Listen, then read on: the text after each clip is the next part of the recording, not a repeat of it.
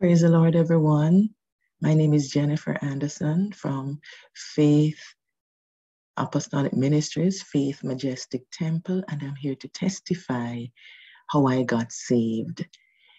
As a teenager, I, you know, always wanted to be saved, but I have this thing in my mind that, you know, I don't want to go to to to get saved. I don't want to be saved until you know I graduated. All for one simple reason because I wanted to press my hair, press, not even cream, press my hair because my hair was dry, and I wanted to, you know, look different for my graduation, and so I have it in my mind to do it. And I graduated, and yes, I pressed my hair. That was the June but then, you know, I am wondering in myself, you know, how am I going to get saved? When? But, you know, there's something about my mother. It doesn't matter who you are, where you are, as long as you're under a roof, you've got to go to church. And I remembered one day I said, I'm not going to go to church because, you know, I just don't feel today to go to church. So what I did, I didn't have a lot of clothes. I have one suit for church and I deliberately let it be dirty because I don't want to go to church, remember. And, you know, when she called, say that everybody is to go to church, I indicated that, you know, my clothes is dirt, dirty.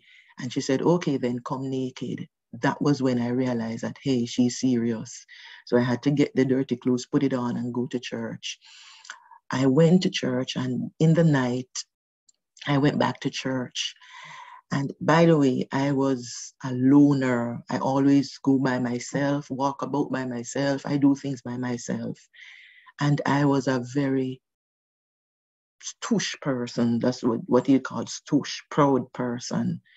And I remember going to church in the night, and the pastor at the time he said, Everybody stand.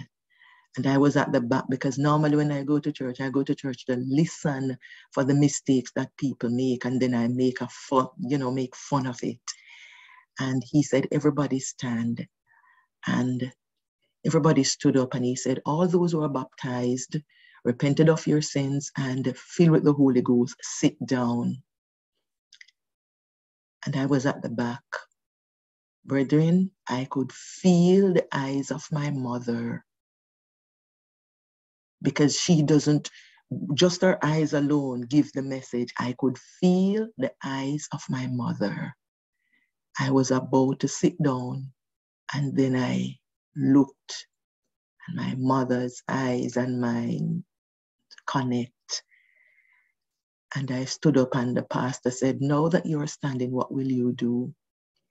And I contemplated and I decided that, you know, I'm going to go to the altar. And I went to the altar.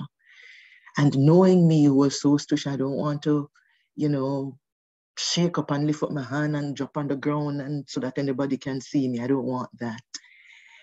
And I decided that, look here, if I need Jesus, I need to put away self. And I decided that, look here, this is it. I'm going to the altar. And I decided that I'm going to give my life to the Lord. I went to the altar and I surrendered my life to the Lord. And that was the I first of all I got baptized the August, and you know the October I decided that look here this is it, and I surrendered my life to the Lord, and I must say that I am happy today that I have given my life to the Lord and He has been keeping me ever since. He has been my shelter. He has been my keeper. He has been my life. He has been supporting me, has been protecting me. He has provided for me.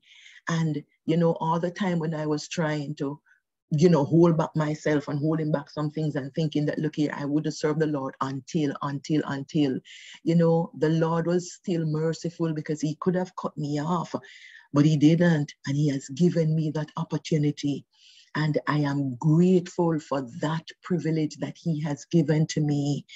I am trusting Him for the rest of my life. It's been, you know, quite a while since I am walking with the Lord, and I must tell you that I'm happy walking with Him. I'm happy serving Him, and I will not trade this for anything. Praise God. Somebody ought to testify.